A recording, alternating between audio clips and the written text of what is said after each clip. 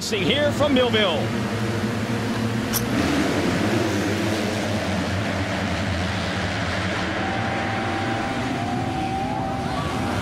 And it's Will Hahn again, dominating the starts this year. Another motorcyclesuperstore.com whole shot for him. Blake back into the number one, and Martin are right there. And look at this. Ken Roczen, who was your points leader coming into today. Is that him in fifth place right now? I think so. With Musquin and Bogle on the 94. There he is. He's just got passed by Bogle. Well, what's great for uh, a rider like Roczen, he would have that parade lap to kind of loosen up and see how he feels on the bike, but he's out there battling. Where is Moto 1 winner Eli Tomac? Yeah, he's apparently buried right now, so it's Baggett going to try to put the pressure on. He was sixth in Moto 1. There he is, right there, middle of your screen. Mid-pack start for Tomac. A lot of ground to make up. This could shake up the overall, but we're going to hold off on discussing that and just look at this battle for the lead. Hahn led a couple laps in Moto number one, trying to lead Air Moto 2, but he's got Baggett, Martin, and Musquin down to the inside, makes the pass on Martin, and Roczen's going to try to get him as well. Roczen gets them both. Let's see. Oh, three riders coming into the turn. Roczen gets around the outside. A lot of English there as he was scrubbing that tabletop. It's it's just amazing what riders like Ken Roczen, uh, his teammate Marvin Musquin, both riding injured. Yep. The ability that you have as a pro athlete when it's time to do your job, it's like you just shut that off. The pain, you just block it out. You focus, you concentrate on the job, worry about recovery and all that stuff later, and go out there and ride the motorcycle. Blake Baggett, your reigning champion, he's been doing the same thing all season with a broken wrist, right wrist, uh, that he's been trying to uh, recover from. It's good analysis from a guy who once broke his thumb here in practice and then went out and won both motos. Mr. Jeff Emig. Here is bruised. I didn't even know it. Yeah. Whoa, Baggett, a big mistake on that finish line jump. Now trying to go back after Hahn at the beginning of lap two. I mean, Hahn's a rider that's recovering from an injury also. First week of May, uh, broke his hand, trying to ride himself into shape. The great thing for Hahn is he is so good off of the starts. It's unbelievable, the starts. He is now ahead in those whole shot standings by a large margin. Roczen up to third, closing in on Baggett. Then it's Wow. Musquin. I, I'm, I am really impressed. Oh, look at Baggett here. Let's see if he carries this momentum from the outside. Hahn makes a little mistake. Baggett's got him, and he's into the number one spot. Six to first moto. Now he takes the lead. Uh, uh, this class, even though Tomac won both motos last week, Yeah. this class is so competitive. Tomac 10 at the end of lap one. It's shaken up enough where you can't even count out Baggett with a sixth and a first of potentially winning the overall. Oh, and Roczen goes by. He's into second. What a performance from Ken Roczen. He is battered, he is bruised, but he's not broken. He wants to follow Baggett through traffic, and he's up to the number two position. And, and when the championship is in play, it, it's it's really amazing as a pro athlete the things, the, the mindset, and what you will do to achieve that, what you will put your body through. It's pretty awesome seeing Roczen out here. I did not think he would be able to perform at this level. Now it looks like he's catching Baggett. Uh, uh, possibly, I mean, he's going after the moto win. Yeah. What a rebound that would be.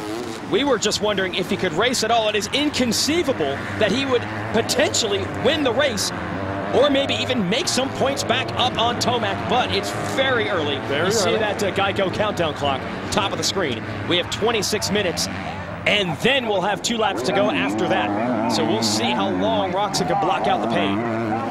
Coming cr uh, across the stripe here, it looks like Tomac has worked his way up to eighth. He is now your championship points leader after that win in Moto 1. And Roczen's DNF and crash in this very same section.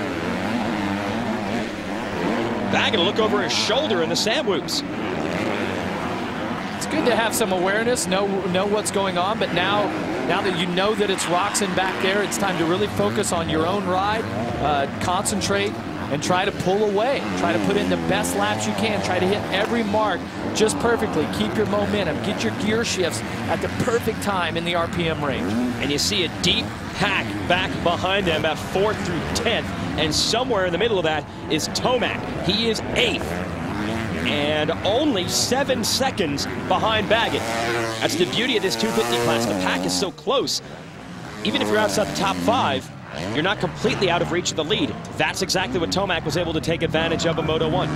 Yeah, and the Minnesota fans would be happy to know Jeremy Martin, he's in sixth right now. His older brother, Alex, is running 16th. Ah, oh, but Tomac got him. Tomac has gotten around Martin. That'll put him to seventh. Martin back to eighth. Then it's Anderson. So strong in Moto 1 to third. But Tomac trying to go around him. Oh, and I think he's got it. Once again, that's the same spot that Tomac used to pass Martin to take the lead and eventually the win in Moto 1.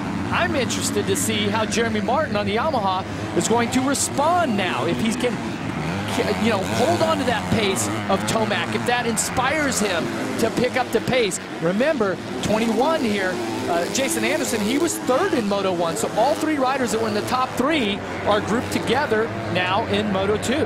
How about Baggett? One moto win so far this year for your defending series champion. He has been fighting through a badly broken right wrist. It's healed. He doesn't have all his range of motion back. He's just trying to get this one done with old-fashioned grit.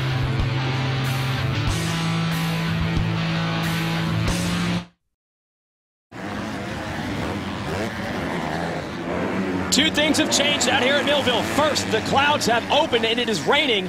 And second, Ken Roczen seems to enjoy those weather conditions because the moment the rain started, he closed the gap back up on Blake Baggett, and we have got a battle for the lead and one we did not expect. Ken Roczen, what a performance considering the huge crash earlier today. Yeah, definitely did not expect that. One thing I noticed, Blake Baggett has been pulling tear-offs constantly. Uh, I noticed Ken Roczen, he's using a roll-off system where you'll have upwards of 100 poles uh, of clear film that goes across your goggle.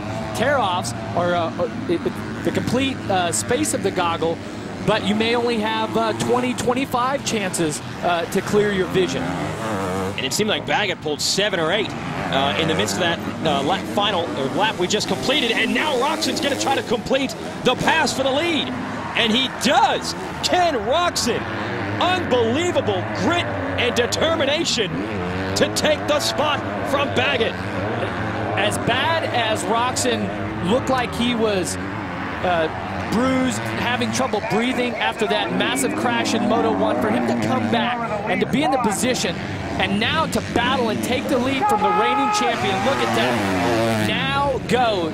It's just ultimate adrenaline, his desire to be champion. He's a former world motocross champion on a 250. He has not accomplished that championship here in the U.S. in AMA Racing and Lucas Oil Pro Motocross Championship. This is unreal out of Ken Roczen. All right, take us through this, Jeff. All right, so comes around, just gets a nice line. Now watch the drive he's going to get right here. Scrubs that double.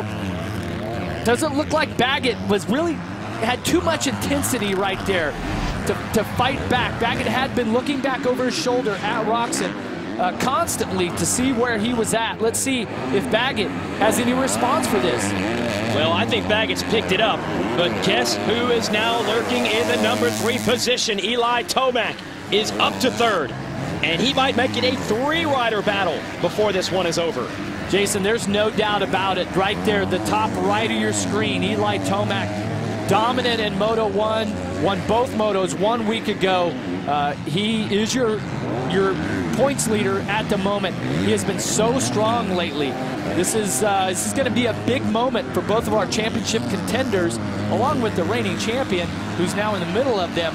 But it's going to be interesting to see what sort of fight Roczen has if Tomac is able to claw himself up to the back of his bike. See the event points. Tomac for the overall, he pretty much has that thing tucked away but I doubt he cares. He wants to finish in front of Roczen in this race and make up more points. And here he comes, about two seconds faster the last time around than your leaders. Well, Baggett at one point had turned to 157. Last lap around, Tomac was fastest with the 158. Let's see as they come by. 158, 159, and Tomac a 158. So now it's three second between first and third. Baggett all over Roczen This battle is not over. I'm not sure what happened to Baggett. When the rain started, he had a bad maybe two laps. He has recovered well, trying to go back after him. Uh, Jason, he's doing what a champion does. I mean, he's got that number one plate for a reason, and he's he's digging deep. He's trying everything he can. Uh, he, the moto win is right there in front of him, okay? And he knows that there's some urgency to make this happen. Right there, playing the championship spoiler now. Baggett's some 60 points behind Tomac and Roczen in the series. I don't think he's got a shot at defending that number one plate, but he would love to stick his nose in there, steal points, wins, motos from them. Roczen digging deep. Baggett and Tomac doing the same. We've got a great race on our hands at Spring Creek. Battle is on, not just for the lead. That's Ken Roczen on the 94, but Eli Tomac has caught Blake Baggett for second. And once Tomac gets you the way he's been riding lately, he's awfully tough to stop. Oh, he is carrying so much momentum right now, working the Honda left, right, doesn't matter. Oh, look at the drive he's got now next to Baggett. Baggett looks over at him. It's a drag race up the hill. Tomac was underneath him, scrubbing those jumps. He goes to the outside, and he's got the second place spot, although Baggett's going to try to square it up. Can't find the line. Tomac on a roll again. Man, it is so awesome to see a rider ride like with that type of uh, flow right here. Look at this. He overjumps it a little bit, but keeps his momentum going. Baggett had the opportunity. If he wanted, he could have took him wide, but he didn't. And now we have Tomac trying to see what happened here. This is Baggett. Man, he's lost a bunch of ground. This is the last trip through the whoops. Oh, here we go. This is Roczen, your leader. Tomac has caught him, and Tomac wow. slices his way to the lead. Wow, takes an inside line. Takes number one, the number one spot from Ken Roczen. That only took half of a lap in the length of time we had the replay of the pass for second. Tomac was right in front of Roczen. Now you got to give Roczen a little bit of credit. Obviously, he's riding less than 100% after that crash. He's just trying to minimize the damage. He's trying to hang with Tomac here. Time running out in this one. I can point out, see the Geico countdown clock top of the screen. 15 minutes, you can save 15% or more on your car or motorcycle insurance. We are within 15 minutes of the finish to this one, 11 minutes, and then two laps. And Tomac might have his second straight 1-1. Well, Tomac has, uh, Eli Tomac has always been a rider that has been known for uh, being physically fit. he trains extremely hard, is extremely focused, uh, spends a lot of time uh, working on that, working on his technique, and it shows here. The way that he's riding with the type of intensity, the way that he's working the bike, just manhandling the bike, it takes a lot of energy. It takes a lot of strength to do that. Now it's it's interesting to see uh, how Ken Roczen will respond and, and if he can up his intensity, up his game here, because this is championship points between the two of them. It looks like he has. He's trying to hang with Tomac. Tomac just so strong the last couple of weeks. It's not going to be easy for Roczen to get him back. Now here's something shocking. Eli Tomac won his first pro race. It was our season opener at Hangtown all the way back in 2010. By virtue of winning that race, he held the points lead going into round two three years ago. And you'll see a shot here of him at that second round that season at Freestone in Texas, running the red plate. He'd actually tied on points of the day with Christophe Pourcel, so they both ran the red plate. The heat and humidity at Texas got the Tomac. He had a bad race. He relinquished the points lead to Pourcel. He has never had the red plate again until today. It appears he will finally get it back. Three years later, Tomac is going to be the points leader for the second time in his career. He did it in one day, first time around. This time it has taken a long climb. And you see the gap he would leave here with a 27-point lead over Tomac if it ends like this. That's a good day, going from one point down, closing in on the championship points lead, and then to, to leave 27 points up. He got a little lucky. Ken Roczen had a big mistake through this section right through here in Moto 1. Crashed hard, DNF'd. But look at Roczen. Yeah. Not letting Tomac go, trying to put the pressure on because you just never know in the sport of motocross.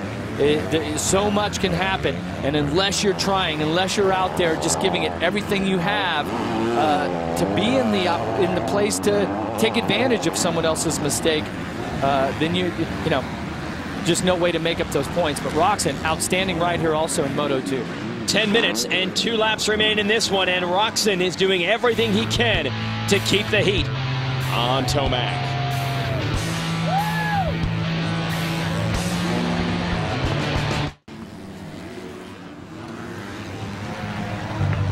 Wednesday night, the hunters become the hunted on the NBC Sports Network. Finally, an original show with some teeth. It's the series premiere of Shark Hunters, Wednesday night, 9 Eastern, on the NBC Sports Network. I don't believe there are any sharks there in Spring Creek. At least I sure hope not. For the fans that are, uh, Rainbow are taking trout or something, maybe. there's definitely some fishing that goes on in there. Not by sharks, though, I don't think. Here's the shark of the 250 class, Eli Tomac. Two bad starts today, but you knew he was lurking back there. He did his damage. Now we have six minutes and two laps to go in this moto. He has a 4.3 second lead over Ken Roczen. You got to give Roczen credit. Even when Tomac got the lead from him, he hung with him for about four laps. But I think that's all Roczen has. He took a big hit in that Yeah. first moto. Maybe that's catching up to him now. Yeah, you got to wonder just how Roczen's body is feeling at this point, especially when he was having trouble breathing, bruised his chest, took a really hard fall. He's only 4.3 seconds off of, of the of the lead right now, but the big thing is just the damage in the overall points for the championship. It's been a, a really bad day for him, but a great recovery, even if he finishes in second this moto. Blake Baggett got a couple of laps led in today, but the uh, intensity of the two championship challengers eventually overwhelmed him. He's third. Then it's Musquin here on the number 25 in fourth. He is also dealing with some injuries. Crashed on press day here on Thursday. Yeah. Man, showing off for the cameras. What happened? Musquin would end up second overall. It's a tie between he and Anderson on points. Tiebreaker goes to the better second moto finish. So Anderson is still digging down. He would like, of course, to finish second rather than third. Either way, it would be his first overall podium of the season. And they're pretty close right now in fourth and fifth. So that could change before it's over. Bogle would be next in line. He's sixth. Then it's Hahn, Martin, Osborne, and Webb rounding out the top 10. Still see a little bit of rain coming down. That's going to. riders uh, going through the roll off system, the tear offs, quite a bit right now. You really have to conserve those uh, tear offs. Uh, if you, you know, you have to have a count, know how much, uh, how many tear offs you have on your on your goggles, make them last till the end. Got some serious momentum here for Justin Bogle. Couple of fourths last week, fifth in Moto 1, sixth here in this. Then you saw uh, Hahn and I believe Martin battling. Yeah, there's Martin in the 77.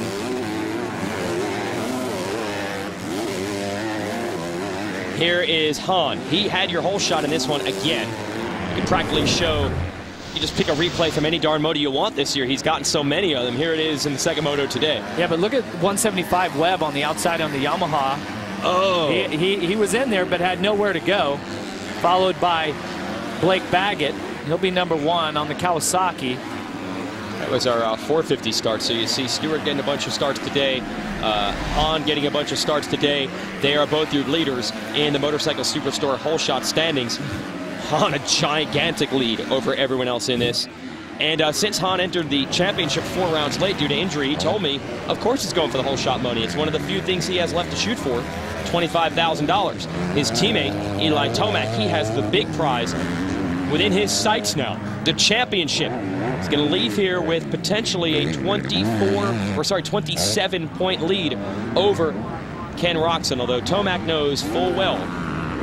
Same thing that happened to Roczen in Moto 1 could certainly happen to Tomac over the final six motos of the year, or even late in this one. That's the way motorsports work. Battle here between the rookie teammates. Cianciarulo Hill that is for 11th and 12th, wheel to wheel. And Hill on the hill is going to make the pass on Cianciarulo. And about 10 seconds behind them is their veteran teammate Martin Davalos. So three Kawasaki's 11th, 12th, and 13th. Cianciarulo comes back. Down to the inside on Hill, makes the pass. So that's 11th again. Yeah, speaking of brands, Kawasaki has 12 wins here. Suzuki and Honda both tied uh, for second was seventh. Yamaha has three and KTM one overall here in the 250 class at Spring Creek. You know, Yamaha has not won. How long? The overall in this class since our own Jeff Emig 20 years ago. So happy anniversary, Fro. And we were wondering if Jeremy Martin could maybe deliver today at the second in the first moto as we watch this battle between Cianciarulo and Hill.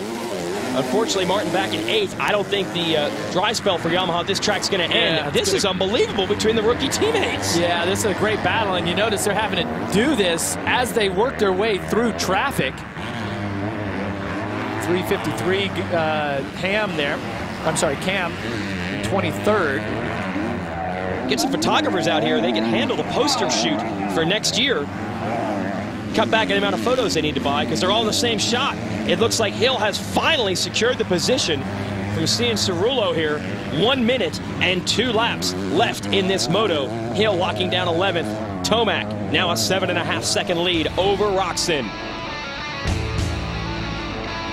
Looking for four straight moto wins.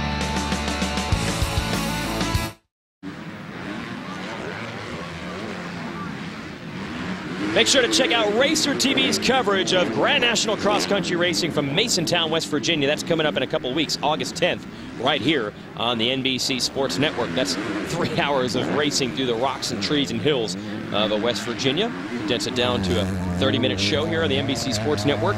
Here is Eli Tomac, two to go. Looking for four straight moto wins. Has a nice solid lead over Ken Roczen in this one. Jeff, you said it time and time again, this 250 class, you've even been through it yourself in your own career. The second half of the year, often one of these young riders finally puts all the puzzle pieces together and starts to go on a charge. Eli Tomac is the candidate to do it this year. Um, it appears uh, to be that way. He's won the last three motos on his way to make it four, making it four straight. Mm -hmm. That's momentum. That's what you have to do to win this championship. I've been really proud here of Ken Roczen. Of course, we've talked about it. This massive crash in Moto 1 while he was chasing down the leader. Watch this. Comes down behind Will Hahn. Front wheel tucks ever so slightly. He gets ejected off. Hits his chest, hits his back, hits his head. Doesn't finish the moto. Was doubtful if he would even be able to ride the second moto. One more look at it. Watch how quick this happens. Watch the handlebars hit him in the chest right here whack oh. right there. Right side of handlebars hit him in the chest. Then he lands on his back. So he's got a front back, uh, gets up, was definitely uh, a bit dazed. At one point was leading Moto 2. Unbelievable. Yeah, and so it's going to be disappointing to give up the points in Moto 1. It's going to be disappointing uh, to not win this Moto and give up another three points uh, to Tomac. And overall on the day, had a one-point lead coming in, so he's going to give up the points in the championship. But that aside, this Moto 2 has been a, a, really great ride for him. What a way to rebound on such a, a devastating day. Let's check back in on the hometown kid, Jeremy Martin, 77. We will have a multiple way tie if Martin can get around Will Hahn and take over seventh. A three-way tie in points for second overall today. Musquin, Anderson, and Martin Musquin has the better second moto finish, and that would be the tiebreaker. So Hahn and Martin continuing to battle. No changes in the top five. Baggett still third. Musquin and Anderson still battling fourth and fifth. Not quite the same fire out of Martin here in this second moto after finishing second in moto number one. But again, he's a rookie pro. He's going to have many, many more years to try to get the overall victory here at his home track. But today, the man who rode it like it was his own backyard is Eli Tomac. Wow, you, you talk about just having the flow. He works hard at, at his craft here. He trains hard.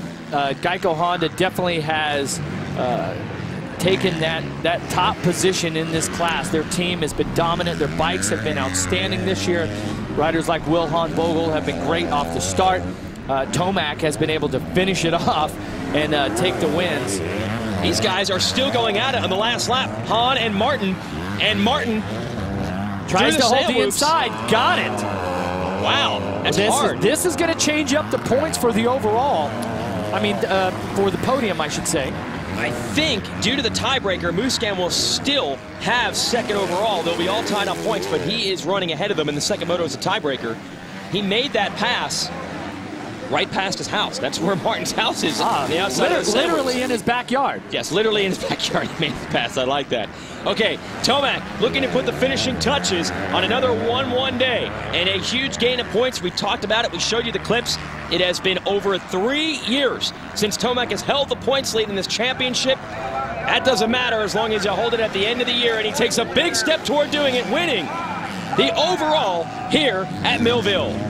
Gonna hold the red plate. Yeah, in a long The time. red Geico Honda gonna have the red plate. That'll be the first time What Roczen won't have it this year. Roczen won the openers, had the points lead since. Good ride for Jeremy Martin, second in Moto 1, battling to try to get an overall podium. I think he might just get edged out by Musquin and Anderson. will crunch the numbers once this one is over.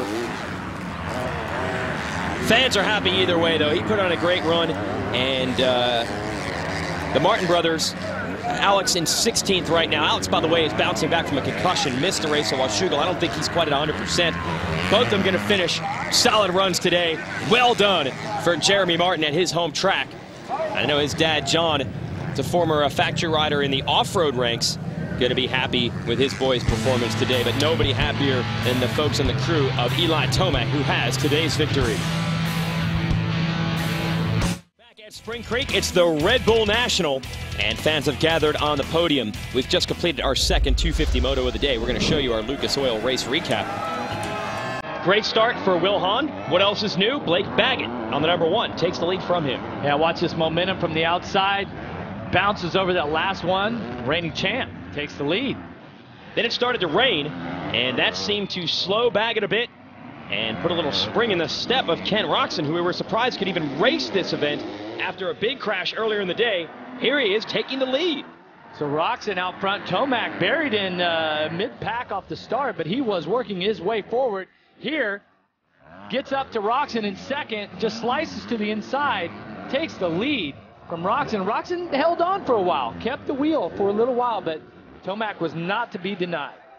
Again, just too fast, too strong down the stretch. Tomac wins his fourth straight moto, second straight race of him sweeping it. Let's give you the results here of this second moto. Baggett hangs on for third. Musquin, Anderson, and Jeremy Martin were having a battle for the podium. Baggett in that mix as well. We'll straighten that out in just a second.